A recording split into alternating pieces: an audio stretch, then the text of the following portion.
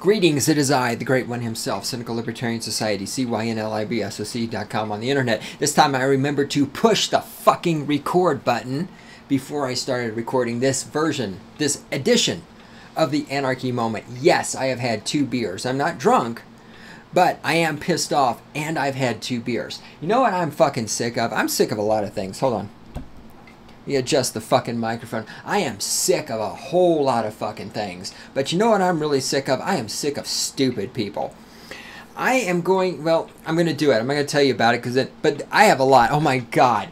I just read four issues of Elle magazine. I have pulled some shit out of there that I'm going to talk about. Holy fuck. The justifications for fat women to be fat. It just, the way fat women justify their fatness it's, it's just never fucking ends. And then there's some great Eugene things where women are just stupider than shit. And I don't mean to rag on women. It's not all about women. But I'm also dealing with a question on another blog that I write that has nothing to do with the Cynical Libertarian Society where some fucking cunt wants to cut off part of her baby's cock, otherwise known as circumcision and it's just god damn it. And then there's stupid people. I am fucking surrounded by stupid people. I try not to be a statist. I try. I try really hard not to be a statist. But god damn it i'm not going to fucking lie to you.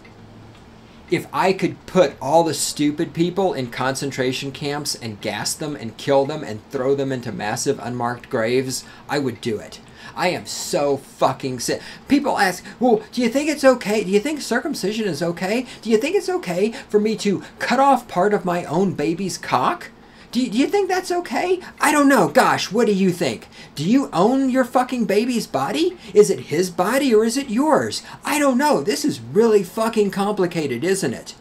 Gosh, I don't know. Maybe you're a stupid bitch, and maybe you should get an abortion because any child that's born unto you is going to have a fucked up life because you're a dumb goddamn bitch, and you don't understand that you don't own your son's body because you're a dumb fucking bitch. I don't know, it's just a thought. It's just a thought. I I still, you know, I'm not kidding. I really do because everyone's a little bit statist. That's a hint for what's coming in the future.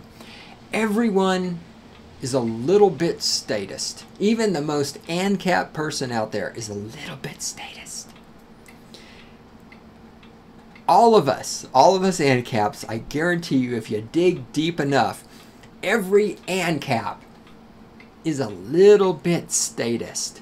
If we could all just pass one law right? We just need one more law, don't we? And we're just three laws away from perfect society. If we could just pass one more law, oh my goodness. If I could pass, if I could pass one law, if I could do it, if I were the fucking dictator of the world, and I could pass one law, my one law would be this.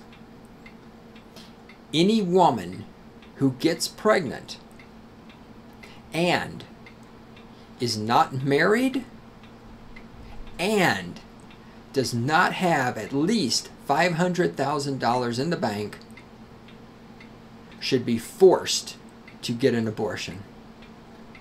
Because I am so fucking sick. So fucking sick. I'm so fucking sick of having to fucking support other people's children. Not only does this bitch, not only does this fucking cunt want to cut off part of her own son's cock, but she wants to do it because, wait for it, wait for it, because she's afraid he might not be socially accepted. Not because he might not be socially accepted because of course I know whenever I meet somebody like I'm walking down the street or let's say I go to a business networking event and I walk in there I'm like hey what's up dogs and yeah I'm the great one what's up what's up and then the, I always say so are you circumcised Let's Get, pull out your dick, man. Let me see your cock. Let me see if that fucker's circumcised or not. Oh shit, you're not circumcised, dude. I am totally ostracizing you. Okay, she is so fucking delusional that it, this is it, it's not and it's not even her concern it's because she wants to circumcise the kid because she's afraid that other people might not approve of him if he's not circumcised. Not because other people want to approve of him because he's not circumcised. No, no, no. She wants this because she's afraid. And this is this is what I'm going to talk about in the upcoming edition of Stating the Obvious. I'm still putting notes together. I'm telling you, it's going to be fucking brilliant. It's going to be one of the greatest episodes of Stating the Obvious that I have ever produced. I am going to talk about this very topic about how our society, about how statism is driven by fear. And this is all this is going to start off based on a question that one of my YouTube viewers asked me where he says he disagrees because he thinks fear yada yada yada. And so I'm going to explain why what he says is actually correct and it's simply a fact of he and I are looking. I'm assuming it's a he. I don't know for a fact. It could be a she. I, I hope it's a she. I would like to think that all of the listeners to my podcast are really cute girls that play volleyball. That would fucking make me just jack off with my cock, which may or may not be circumcised. I'm not going to tell you if my cock has fucking been cut or not because you might ostracize me. And I'm going to talk about fear and definitions of fear and why and how I believe our society and statism is driven by fear. And I know in the past I've said I'm going to do a lot of things, I never get around doing them. God damn it, this is going to happen. Trust me, it is going to be. Oh my God, I'm going to tout this episode. Tout? Is that a real world? Real world. Real world. I can't talk. I have so much to fucking do right now. I'm just like overloaded. Seriously. I got the blogging, I got theater gigs going on. I am like fucking just dying under the workload right now. But it's great. It's it's good. It's fucking happy because I am the fucking great one himself. And you can suck my cock, whether it's circumcised or not. All of you fucking feminazis out there who love cutting off little boys' cocks, fuck you. Fuck you. Alright. Anyhow, this upcoming edition of Staying Up is going to be great. I got some other stuff in the works. Everyone's a little bit statist. It, it's coming. And uh, I said coming. yeah, yeah, Beavis, we're gonna get laid. Yeah, yeah, it's cool. Yeah. All right. Uh, sorry, bad head. Yeah, yeah. All right. yeah, I am Cornholio. All right. And oh, I watched New Order. What the hell is the name of that DVD? New Order. It was a New Order in concert. 316, 318, something like that. Anyway, it's awesome. New Order is great. Of course, Bernard continues to prove that white boys can't dance, but it's okay because it's New Order. And if you don't know who the band New Order is, then I feel sorry for you. They're fucking awesome. All right, anyway, what else? Stupid people. Stupid people. God damn it, I'm fucking surrounded by stupid people. All right. And God damn it. This is this is the anarchy moment for the day. You know, the other thing, this other blog, I'm debating right now in my mind because this other blog is a blog that is written for stupid people. One of the things about the podcast here at Cynical Libertarian Society is that I do not podcast for stupid people. I do not podcast for people with short attention spans. As you know, my. The fuck is my water bottle? There it is.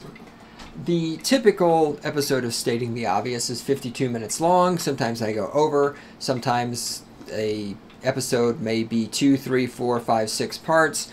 I, of course, back in the day, did the one I'm still proud of, the multi, like, what, 11 part, I think it is, I could be wrong, 7, 9, 11, something, part where I fucking destroyed utilitarianism.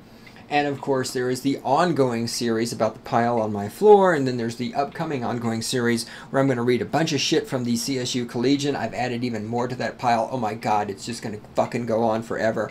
It's going to be days of podcasting, of me just ripping the medicated generation a new asshole just ripping their fucking heads off and shitting down their necks and then slapping them in the face because they are so we're the smartest generation ever. Really? Then why are you all on medication for your personalities and why are you so fucking stupid? Shut up. Shut the fuck up. All of you under the age of 30 i just shut the fuck up. Just shut the fuck up. You're so goddamn stupid you can't even pour piss out of a boot with the instructions written on bottom and a hole drilled in it. Right? Shut the fuck up. Anyway, as you know, I do not podcast for stupid people. My fucking podcast require you to be able to listen to the whole fucking thing and to be able to think, right? And this, this other blog I write at, it's a blog that is geared towards stupid people you know, everything has to be written in a third grade level. You got to have a lot of pictures because stupid people can't read a blog post without pictures. It's got to be between 800 and 1,000 words because Google wants at least 800 words, which is what the person who runs the blog says. And it can't be more than 1,000 because nobody will read more than 1,000 words. And they won't. This is true. I've had lots of people tell me, oh, I can't read what you write. It's too long. It's like, no, no, no, no, no, no, no, no.